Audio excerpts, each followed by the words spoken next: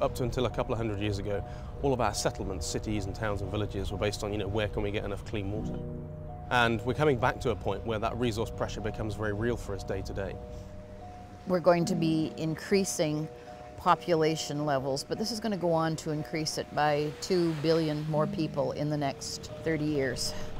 If we continue at today's pace of freshwater usage, the gap between the supply of fresh water and the demand of fresh water is projected to be as much as 40%. There's wars. Darfur was largely a war about water and water rights. Another example, which is huge, is that of the Aral Sea. The cotton industry in Central Asia was significantly supported with fresh water. Fresh water was diverted from the rivers that feed into the Aral Sea into the agricultural lands which grew cotton. Net result, the Aral Sea has pretty much dried up and the place is an ecological disaster.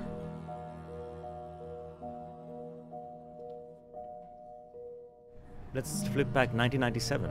The Yellow River, one of the major rivers of China, went dry for nine months of the year finding mechanisms in which this opportunity or the scarcity value of water becomes reflected in the decisions people make, this for me is the fundamental challenge.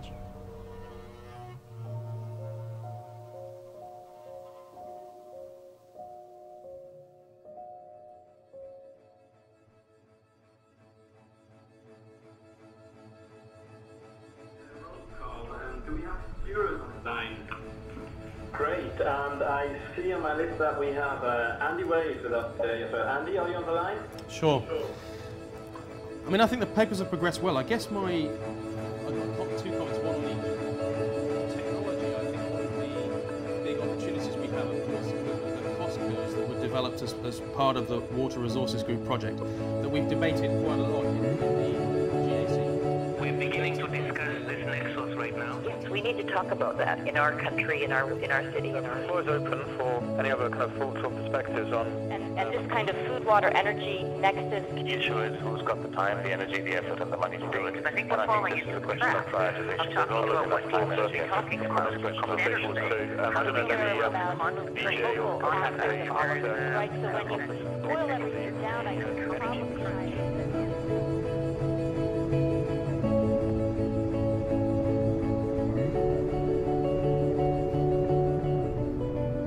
Global Agenda Councils are really a brain trust of the world's smartest thinkers and experts from around the world, from different regions, different stakeholder groups. It's different than any other event because it goes beyond just meetings and, and preset panels. It really is about group conversations around issues and solutions. Right now we have 600 people represented and they'll convene in 72 different councils and have conversations over three days essentially.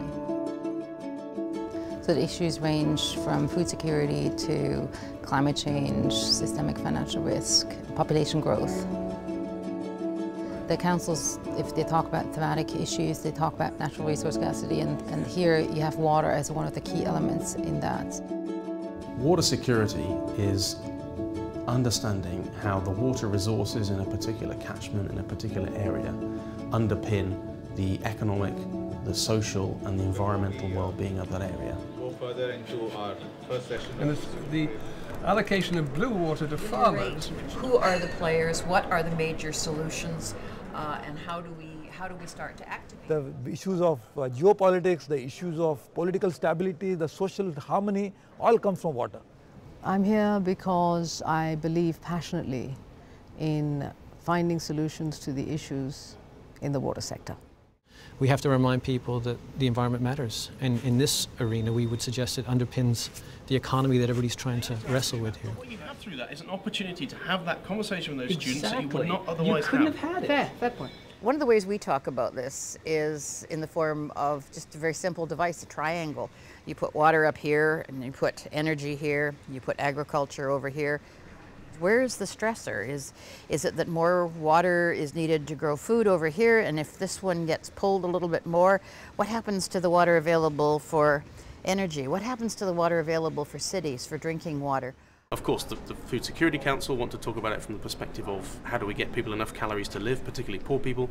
The Energy Council want to talk about it from the perspective of how can we ensure that there's enough energy in each market for people to improve their quality of life. Is, is that interplay between one council and the other on problems which are across the boundaries of the council that is fascinating and very important. Yeah.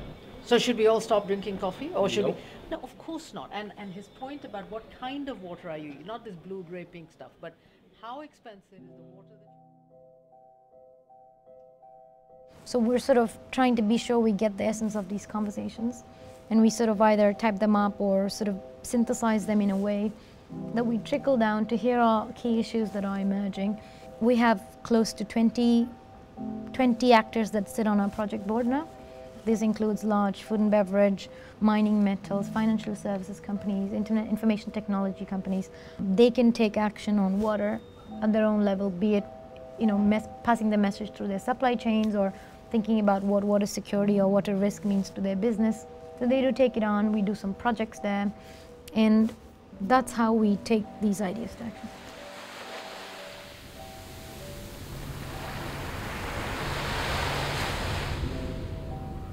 Externalities are costs to society, which are part of normal everyday business, which business does not pay for. So, in that sense, we are internalizing profits and externalizing costs.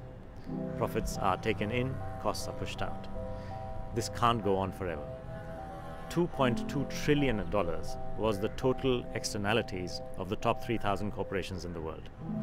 That's not a viable solution for success, even for the corporation, because at some point we will lose the social license to operate. Most international companies have supply chains, and whether you're talking about t-shirts or microchips or tomatoes, uh, there's producers that make the product, and it feeds into the supply chain. Some of these companies are taking steps to say to the subcontractors in the supply chain, this is how much we water we want used per unit, per potato, per tomato. That is a very positive step because that is doing something which most governments have grave difficulty in doing.